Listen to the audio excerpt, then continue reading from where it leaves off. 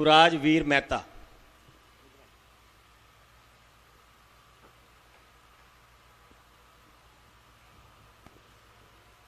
जय श्री राधे, आप सबको मेरी तरफ़ से प्रणाम। वैसे तो मैं महाराज जी के आगे क्या ही बोल सकता हूँ, परंतु फिर भी जो मेरी समझ है, उसके अनुसार मैं आप, आपके आगे कुछ व्यक्त करना चाहता हूँ। तो जैसे कि हम सबको पता है कि गीता जी में, भगवान ने सातवें अध्याय में अलग अलग प्रकार के योग कर्म के बारे में बताया और अठारहवें अध्याय के सिक्सटी सिक्स श्लोक में भगवान गीता का सार अर्जुन के सामने प्रकट करते हैं। सर्वधर्मान परित्यज्यम मामेकम शरणम व्रज अहम त्वाम सर्व पापेभ्यो मोक्षयिष्याम माँ शुच।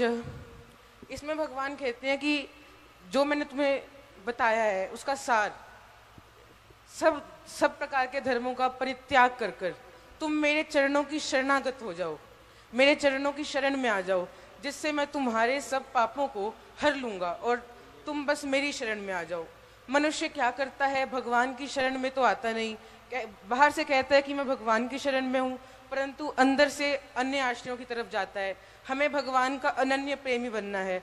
बाद में भगवान को दोष देता है, उनने मेरा साथ नहीं दिया। भगवान कह रहे हैं, माँ, में कम शरणम व्रज। आप भगवान की शरण में आइए, वो आपके सब पाप हर लेंगे। जिस भक्ति का अर्थ लोग समझते हैं कि सब कुछ छोड़कर बस भक्ति करना है, परंतु भक्ति का सही अर्थ यह नहीं। अपने सब चीज़ में, बीच में भगवान को रखना ही भक्ति है। जिस प्रकार एक माँ खाना बनाती है अगर वो खाना बनाते हुए यह सोच ले कि मैं भगवान के लिए खाना बना रही हूँ, हम अगर ये सोचें कि हम भगवान के लिए सब कर रहे हैं तो जितने घंटे वो खाना बनाएगी, उतने घंटे भी भक्ति ही होगी।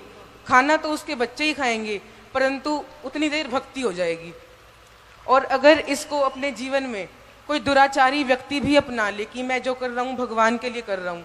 उसका भी कल्याण हो जाएगा। जिस प्रकार एक चोर कहे कि मैं भगवान के लिए चोरी कर रहा हूँ, कुछ दिन बाद उसका मन परिवर्तित हो जाएगा कि भगवान के लिए इतना तुच्छ कार्य कर रहा हूँ मैं। उससे उसका मन परिवर्तन हो जाएगा। जय श्री राधे, धन्यवाद।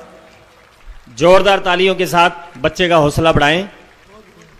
बहुत ही प्यारी प्रस्तुति प्रस्तुति पूजा महाराज श्री जी के चरणों में इस युवराज वीर मेहता ने रखी और कई दिनों से इसका मन था। आज सुबह इसका आ, मम्मी दादी का फ़ोन आया कि मुझे महाराज श्री जी के सामने युवराज वीर अपने शब्द कहना चाहता है तो मुझे महाराज जी ने आज्ञा दे दी और इस बच्चे को बहुत बहुत शुभकामनाएँ। हमारे बीच